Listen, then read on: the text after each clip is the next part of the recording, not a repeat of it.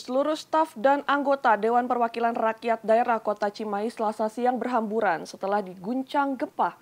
Gempa berkekuatan magnitudo 6,4 di perairan Lebak, Banten itu juga terasa hingga Bekasi. Sejumlah aparatur sipil negara di kantor pemerintah Kabupaten Bekasi berhamburan keluar untuk menyelamatkan diri. Sementara di Sumedang, sejumlah pasien rumah sakit berhamburan keluar. Guncangan gempa yang dirasakan di gedung DPRD Cimahi berlangsung sekitar 30 detik saat para staf dan anggota dewan sedang beraktivitas di dalam ruangan. Akibatnya seluruh staf dan karyawan DPRD berhamburan keluar gedung. Berdasarkan rilis BMKG, gempa dengan magnitudo 6,4 berpusat di Lebak, Banten.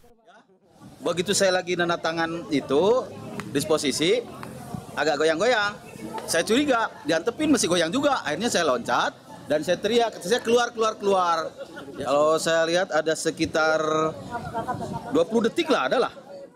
Sementara itu, sejumlah pegawai negeri sipil di lingkungan pemerintah Kabupaten Bekasi berhamburan keluar gedung demi menyelamatkan diri setelah guncangan gempa terasa beberapa detik.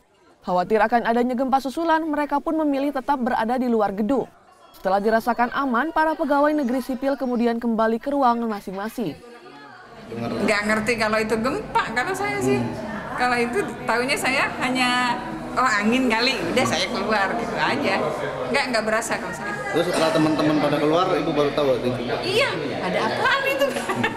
Lumayan lumayan rasa agak goyang gitu sih tadi. Agak sedikit panik pas yang lain ikut pada keluar. Jadi ikutan ikut lari juga. Ada hati rasa ini. Iya agak agak deg-degan juga gitu kan. Kepanikan juga terjadi di RSUD Sekarwangi, Kecamatan Cibadak, Kabupaten Sukabumi selasa siang. Pasien di instalasi gawat darurat Sekarwangi langsung berhamburan keluar. Sejumlah pasien bahkan dievakuasi keluar dari ruangan. Beberapa pasien anak pun digendong keluar dengan selang infus yang masih menempel di tangan. Itu aku lagi di warung lihat kenteng yang di itu ke belakang rumah sakit itu. Oh. Itu pada terbang kentengnya. Oh gitu. Ada gempa tuh, gempa ya? Gempa. gempa. Pada hancur kentengnya pada ya, terbang. Ya. Bu kenapa keluar takut atau gimana Bu? Takut ini kan lagi di dalam. Ketika gempa sudah tidak dirasakan dan pasien kemudian kembali ke ruangan. Data yang diperoleh dari BPBD Kabupaten Sukabumi, puluhan rumah mengalami kerusakan sedang. Petugas saat ini masih melakukan pendataan lebih lanjut. Tim Liputan Transmedia.